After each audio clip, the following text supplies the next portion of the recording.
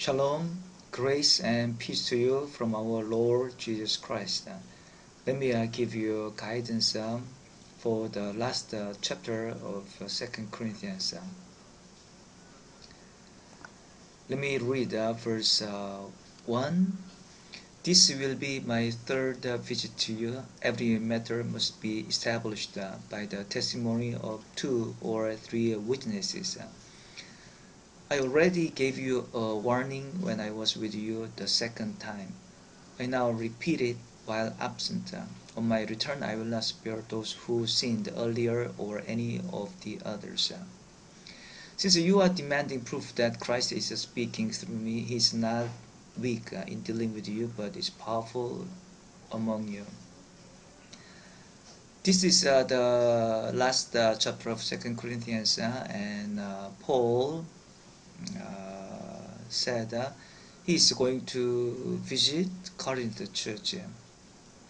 Paul made the first uh, visit uh, for second for Corinth church for his second missionary journey.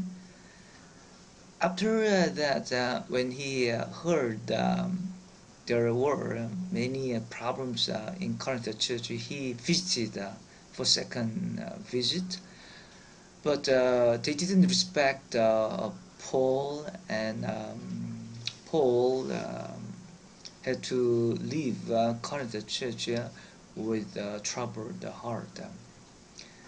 And uh, he wrote uh, another letter, which is called um, the Severe letter. When Corinth church received the Severe letter, they repented of their wrongdoings and uh, Paul um, Paul uh, made uh, the letter of uh, the another letter, which is what we read, the book of Second Corinthians. and Paul now he said he is going to visit the church again. Indeed, he visited for his third missionary journey for his uh, third missionary journey, he didn't mention um, problems of uh, Corinth church. Yeah? Probably um,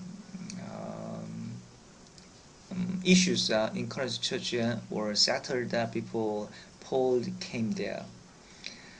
And um, as I said, uh, there were uh, first apostles and they spread the wrong gospel. They led uh, the members uh, to into a wrong way, and uh, they said some people said um, Paul's um, uh, letter has a very strong tone, strict tone, but uh, when Paul came there and met people face by face, uh, he uh, looked uh, weak. And but um, Paul, you know, is not that kind of person. Paul delayed his visit on purpose that they may repent, they may um, solve issues by themselves, because uh, if uh, Paul uh, make uh, another visit to Corinth church, it's not just uh, to give simple, uh, simply uh, advice, you know, but he will make a visit to judge people. In church, the you know um, the heaviest penalty um, is uh, excommunication. And um, but uh, Paul's case, uh, the Holy Spirit's power uh, was uh, with uh, Paul, and when Paul tried to judge them, we may not what kind of punishment the people who are opposed to Holy Spirit might have. Um, like um, you know they might uh, become a leper or they um, may uh, become you know blind people or mute people, or, or they may even die. And Paul uh, here strongly urged uh, them to repent. And uh, the church, uh, may resolve uh, their problems by themselves by the help of the um, Holy Spirit. In uh, verse uh, uh, 3 and uh, 4, here Paul said, Christ is not weak. He um, was, when um, we think the crucified Christ, he looked weak, right? But um, it's not because uh, he didn't have uh, power to, um, uh, you know, suppress, uh, to remove uh, the evil uh, mm, power. Christ became weak on purpose to save us only. Likewise, Paul didn't visit Corinth church immediately. It's because Paul would uh, wait uh, in mercy and in love uh, so that uh, Paul may not punish uh, the people who brought uh, troubles to a church. Yeah. Right, and next, verse 5 Examine yourselves to see whether you are in the faith. Test yourselves. do you not realize that Christ Jesus is in you? unless, uh, of course, uh, you fail the test. Uh, and I trust that you will discover that we have not failed the test. Uh. Now, we pray to God that you will not do anything wrong. Not that people will see that we have stood the test, but that you will do what is right, even though we may seem to have uh, failed. Paul here urged the Corinth church members um, to see themselves thoroughly to check whether they are really uh, saved uh, people or not. Um, we may we can we should apply it to our ourselves uh, too. Yeah. How can we um, know the Holy Spirit is with us? Jesus uh, is uh, in us.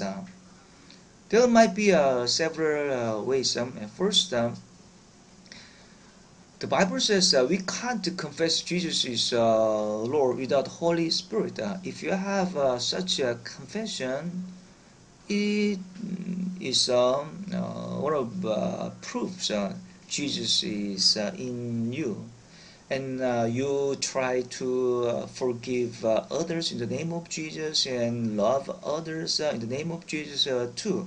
That is um, also um, proof and uh, you um, try to be led by Holy Spirit. You try to listen to the voice of the Holy Spirit through Bible and live uh, according to His guidance.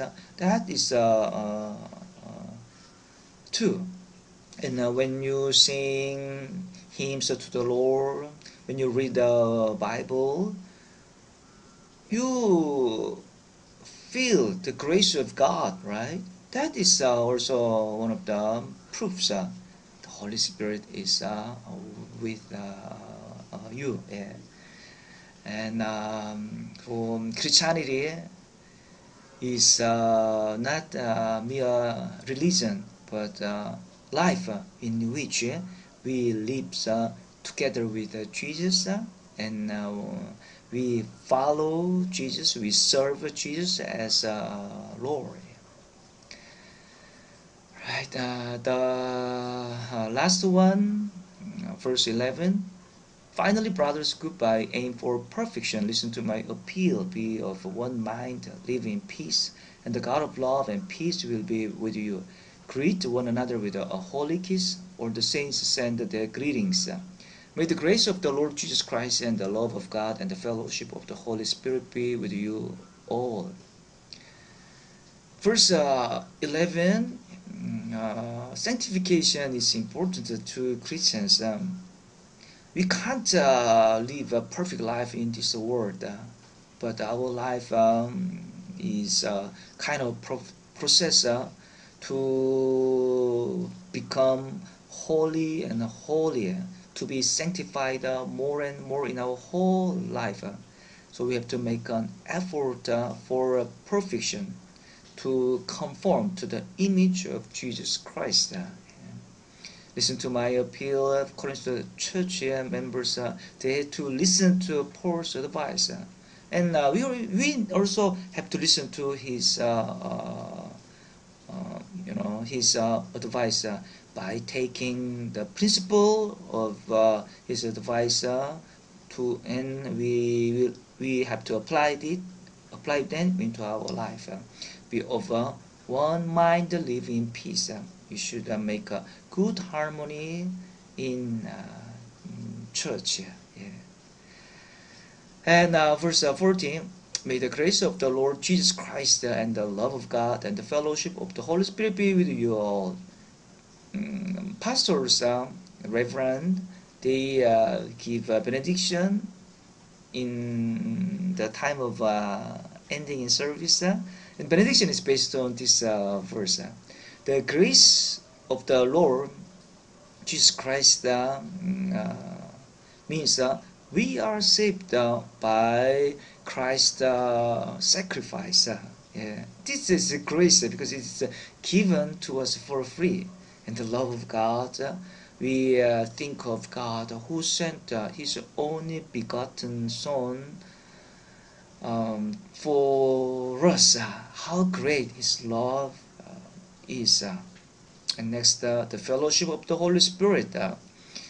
after Jesus was ascended into heaven, Holy Spirit was sent to us, and He is each of believer of Jesus and um, uh, uh, so he is uh, with uh, us he guides uh, us yeah all right um, uh, this is for today and thank you um, that you have joined um, um, pilgrim's journey too, and I believe um, God has uh, abundantly blessed uh, you in uh, this uh, spiritual uh, exercise uh, through the book of Second Corinthians.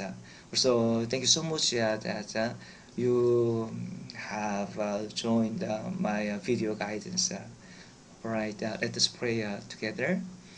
Heavenly uh, Father, thank you that uh, you have uh, blessed uh, us um, through uh, Pilgrim's uh, Journey Part 2.